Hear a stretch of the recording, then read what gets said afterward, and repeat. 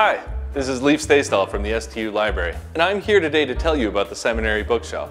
Now you may recall in our last couple of videos, I've been talking to you about the amazing digital resources that the STU Library provides to its patrons. In the first video, we talked about the Digital Theological Library, or DTL for short. The DTL is an absolutely massive online library which we're a member of, and it serves as a vital resource to our colleges. But due to licensing restrictions, we can only offer access to it to our faculty, staff, and currently registered students. In the second video, I talked about a resource that's available to anyone, the Open Access Digital Theological Library, or OADTL. The OADTL collects all of the open access resources the DTL staff have found into their own separate library, which anyone can access for free without any paywalls.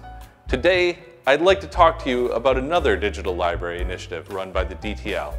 It was just founded at the start of 2023. It's called the Seminary Bookshelf.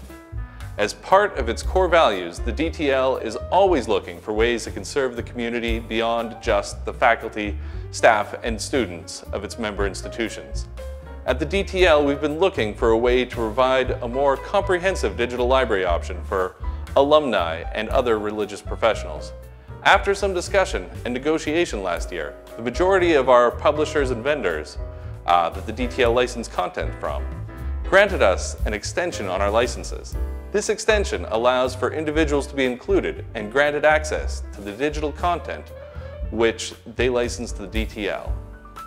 To take advantage of the opportunity created by this license extension, we created a separate library called the Seminary Bookshelf. The Seminary Bookshelf is an online digital library that was created to provide alumni and other religious professionals with a research library to support their professional work and personal growth. The Seminary Bookshelf contains the majority of book titles that are in the full DTL. Currently, the Seminary Bookshelf includes more than 1.4 million digital book titles, as well as over 50 million articles. Like all DTL libraries, by the time you watch this video, the no these numbers are probably too low and will already be out of date, as new titles are being added constantly. You can access the Seminary Bookshelf online at seminarybookshelf.org.